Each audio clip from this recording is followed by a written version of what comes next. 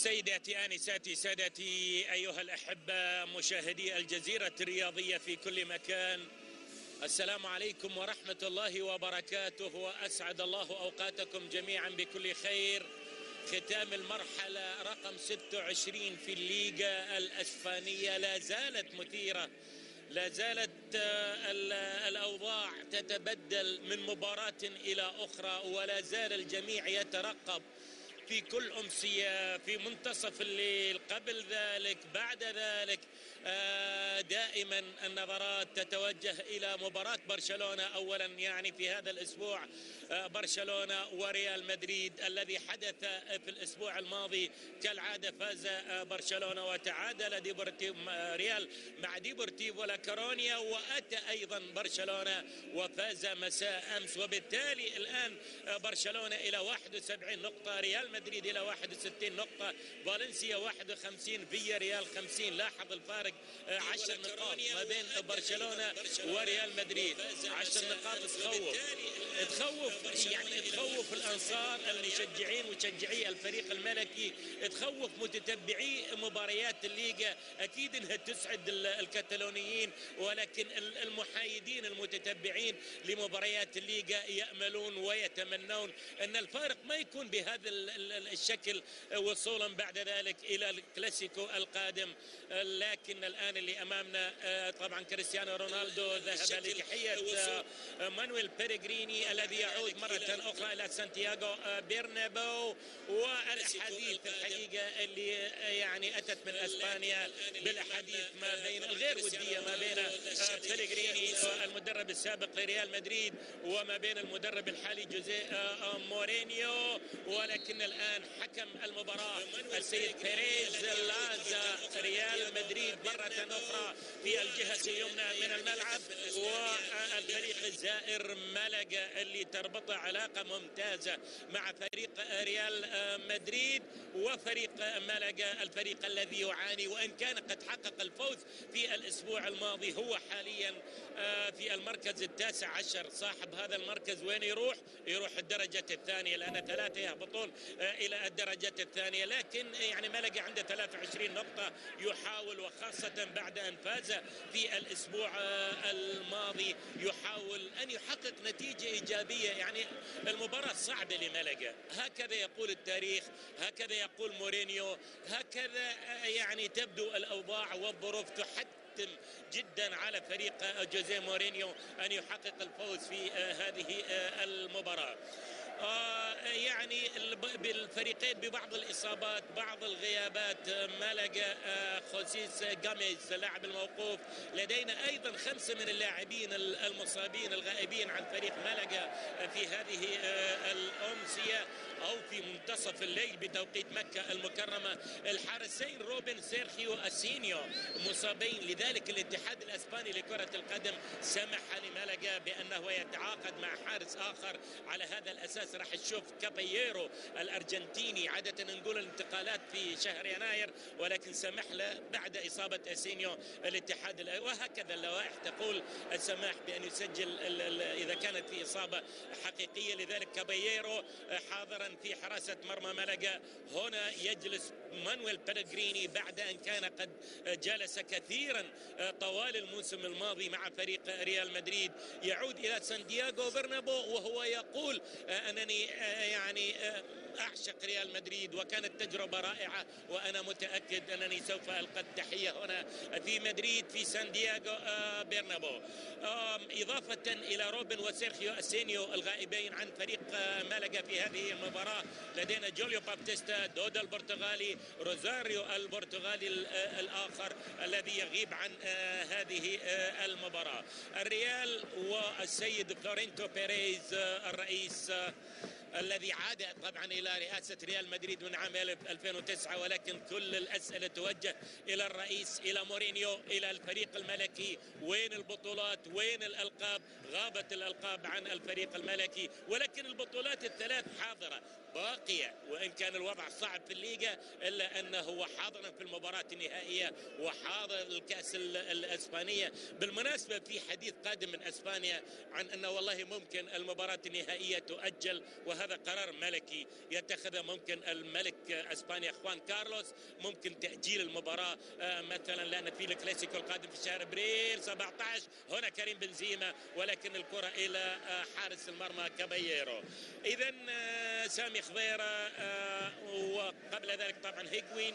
هيجوين إصابته ممكن شهر وبعد ذلك يعود إضافة إلى بيبي الذي يعاني من البرد من انفلونزا يعاني منها بيبي والحقيقة إن في مدريد الجو بارد درجه الحرارة وقت إقامة المباراة أربع درجات مئوية. اذا هؤلاء الغائبين عن فريق ريال مدريد ولكن الحاضرين من كالعادة في حراسة المرمى إيكر كازياس راؤول ألبيول ريكاردو كارفايو مارسيلو لاسانا ديارا شابي ألونزو دي ماريا المتألق المتألق الآخر ليس في المباراة الأخيرة مسعود أوزيل بنزيما من البداية ويجلس إيمانويل ادي بايور على قائمة البدلاء إضافة إلى كريستيانو رونالدو. الذي غاب عن التسجيل في المباريات الأربع الأخيرة. مارسيلو كالعادة يتقدم في الجهة اليسرى. كريستيانو رونالدو يتقدم ويحاول المرور ولكن التغطية حاضرة. كابييرو يحرس مرمى. اذا فريق ملقا مانولو غاسبر ديميكيليس مانو توريز اليسو آه، ساندرا سيلفا كوينسي كاماتشو فرناندو إخوانمي. ولدينا الحقيقة الليلة لاعب شاب عمره 17 سنة. إخوانمي يرتدي القميص رقم 26 عنده أربعة أهداف يزج به المدرب مانويل آه، بلغريني من البداية في آه، معقل ريال مدريد سانتياغو آه، كريستيانو رونالدو الذي غاب عن التسجيل في المباريات الأربعة الأخيرة لكن نتذكر أن العام الماضي بعد مضي 25 مرحلة. يعني الآن المرحلة رقم 26 العام الماضي بعد مضي 25 مرحلة كان له 14 هدف لكن الآن آه، طبعا 24 هدف بعد مرور 26 آه، مرحلة وليس 25 مرحلة. الآن في المرحلة رقم 26 كريستيانو رونالدو إذا أهدافه يعني أفضل أفضل بكثير من الموسم الماضي وإن كان يتفوق عليه لغاية الآن ميسي برصيد 27 آه، هدف. اللقطة هنا لمصلحة ملقا كرة تحولت وصلت إلى آه، تشافي آه، ألونزو. يحول الكرة في الجهة اليمنى على التقدم مباشرة. اللاعب اللي يتابع المتألق دي ماريا خلص واحد ممكن الثاني. ولكن الكرة تصطد وأيضا صافرة حكم المباراة والضربة الحرة المباشرة التي تحتسب أمامنا الآن مورينيو بردان. هو ما يعرف يعني شوف أكيد ان في إسبانيا ليس كما كان يعني من أسبوع إلى أسبوع وما إلى ذلك الحديث كبير ولكن حتى في إسبانيا هو لا يستطيع السكوت وكلامه كثير يتحدث كثيرا. على العموم فريقه الان في حالة هجوم والتسديده حلوة. حلوة التسديده وحلوه أيضا من حارس المرمى كابييرو. وبالتالي وصلت اذا أول محاولة حقيقية من اللاعب اللي عنده خمسة أهداف. دي ماريا يسدد بقدمه اليسرى ولكن وصلت إلى حارس المرمى كابييرو. جوزيه مورينيو لا زال متالقا. جوزيه مورينيو حتى مع ريال مدريد. يعني مهما يكن من امره يعني هو فارق العشر نقاط الا ان الفريق الذي لم يخسر على الإطلاق هنا في سان برنابو مع مورينيو. هذا الفريق لعب 19 مباراة داخلية وخارجية. حقق الفوز في ال 19 مباراة الكاملة سواء في الكأس الإسبانية مباراتين أو مباراتين في دوري الأبطال أو الآن آه طبعا الليغا وهو مرشح فوق العادة الحقيقة لعبور ملقا. لكن بشروط يعني ريال مدريد مثلا يبحث عن والله إذا جات الدقيقة 15 الدقيقة 20 ريال مدريد مسجل لك جول جولين. ممكن خلاص الوضع يكون سهل جدا للريال. الريال في حالة هجوم وتقدم إلى الأمام. كريم بنزيما تحت الضغط أكيد. آه، كريم بنزيما يحاول إنه هو يتخلص. واليوم مورينيو فضل آه، كريم بنزيما على آه، أدي بايور الذي يجلس على قائمة البدلاء. إن تراجع أداء كريم بنزيما الذي سجل هدف في مرمى فريقه السابق ليون الفرنسي. فسوف يأتي أكيد بإيمانويل أدي بايور الذي يجلس على قائمة البدلاء. لكن يعني الحديث عن عن كريم بنزيما كثير. اولا التكلفة كثيرة. يعني أنت تتحدث عن 49 مليون دفعها ريال مدريد لنادي ليون الفرنسي وتتحدث عن 49 مباراة لعبها كريم بنزيما لغاية الآن مع ريال مدريد 49 مباراة 49 مليون. والله عاد مليون في كل مباراة ومسجل 11 هدف. لكن هو تحت الضغط الآن ومطالب الحقيقة هو بالتسجيل لأنه هو المهاجم الصريح وليس كريستيانو رونالدو. مع ملاحظة ميسي 27 هدف ومع ملاحظة أيضا كريستيانو رونالدو 24 هدف والسباق الخاص ما بين كريستيانو رونالدو وميسي المتألق مع البرشا. دايارا يسيطر على الكرة المباراة عند الدقيقة التاسعة. يعني في كثير من الأوقات اللي يتابع مثلا واللي سهر أمس مع برشلونة سهر وايد على أساس إنه يشوف الهدف الذي أحرزه ميسي وأعطى النقاط الثلاث. لأن في بعض الأوقات هذه الفرق الكبيرة والله تأتي والله برشلونة مثلا حتى ريال مدريد الفرق الكبيرة. والله تأتي الدقيقة 15 20 مسجلين جول نسجل الثاني خلاص المباراة تكون سهلة. إذا لم يحدث ذلك المباراة تكون صعبة مثل الصعوبة التي لاقاها برشلونة أمس امس مع فريق فالنسيا. ولكن برشلونة في الطريق الصحيح وما يهم الحقيقة أي شيء اللي يهم دائما وابدا. لاعب اسمه ميسي وميسي غير مع برشلونة وبرشلونة الذي وصل الصدارة. ولكن وسع الفارق الآن إلى 71 نقطة. ممكن أن الوضع يعود مثلا إلى الفارق إلى سبع نقاط في حالة فوز الريال ووصوله إلى النقطة رقم 64 بلغريني ما نجا من تصريحات مورينيو. لأن بلغريني قال أن والله لن يتمكن مورينيو من الحصول على النقاط التي حصلت عليها مع ريال مدريد العام الماضي. فرد مورينيو قائلا أن والله إذا ركلني ريال مدريد إلى خارج أسوار النادي فلن أذهب إلى تدريب ملقا سوف أذهب إلى الأندية الكبيرة. هو يتحدث عن الطليان يتحدث عن الإنجليز لكن هذه التصريحات الحقيقة استاء منها نادي ملقا ككل.